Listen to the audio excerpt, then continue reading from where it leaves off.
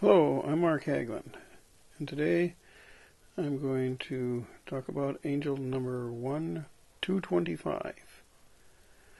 Um, I picked my palette out and I pasted out here onto my first layer. I'm kind of looking like uh, this is kind of a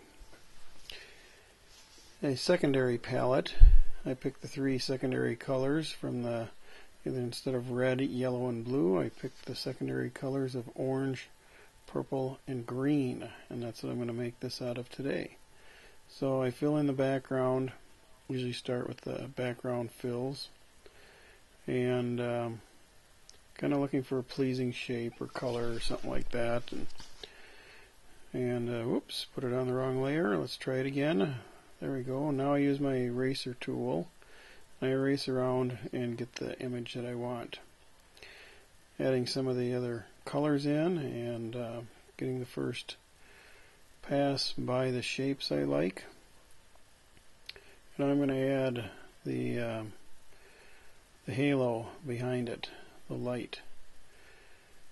And uh, this always takes me a few times to get through this.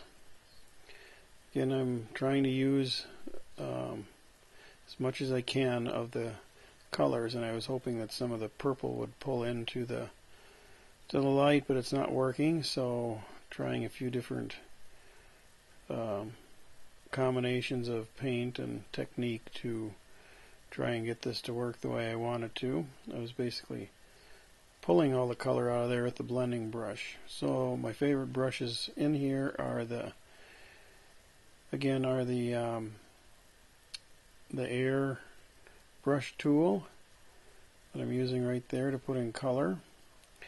And uh, the chisel marker and uh, the two blending brushes at the bottom. And this time I'm using the smudge tool to uh, get those swirls down at the bottom. So now I'm going back in and redefining the um, wings and stuff and I think it's nice the way it is so I'm going to sign it and you can buy these in Starry Night Art.